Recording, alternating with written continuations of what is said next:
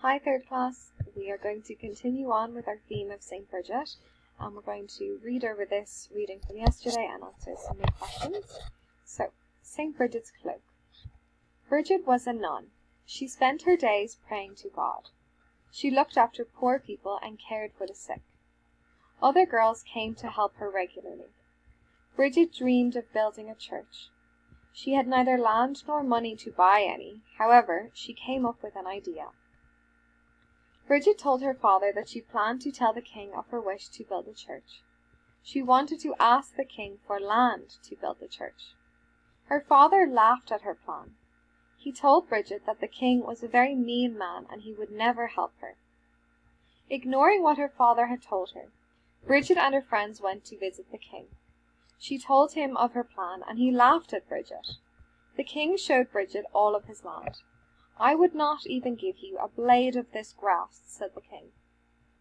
Brigid was very sad. That night she prayed to God to make the king a kind man. The next day, Brigid went back to visit the king again. Will you give me as much land as my cloak can cover? she asked. Again the king laughed at Brigid. You can have whatever land your cloak can cover, but it will be of no use to you, he said. Brigid put her cloak on the ground. Suddenly the cloak began to grow and grow. "Stop it! Stop now!" exclaimed the king. He couldn't believe what was happening. Before long the cloak had covered enough land to build the church. The king fell to the ground. He vowed to help Brigid in any way he could from that day on. He wanted to help the poor and sick especially. Brigid was able to build her church on the land, and she was very happy. So for today, we're going to be answering questions 5 to 8, or sorry, 5 to 7.